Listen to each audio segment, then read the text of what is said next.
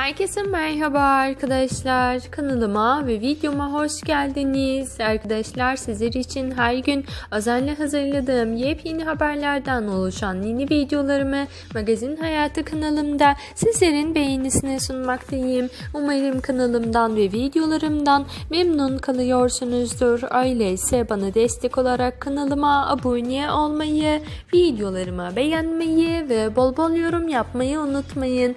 Arkadaşlar Türkiye Türkiye'nin çok sevilen yakışıklı oyuncusu Kadir Doğulu'dan yepyeni görüntüleri getirdim. Doğulu bir mekan çıkışı elinde yeni projesiyle objektiflere takıldı. Kadir Doğulu'nun yüzünden düşen bir parçaydı. Gergin gözüken yakışıklı oyuncu projesini bildirmemek için kağıtları gizlince tuttu. Arkadaşlar işte sizler için Doğulu'nun yepyeni görüntülerini videomda düzenledim. Umarım beğenirsiniz. Eğer beğendiyseniz beğeni butonuna basmayı ihmal etmeyin.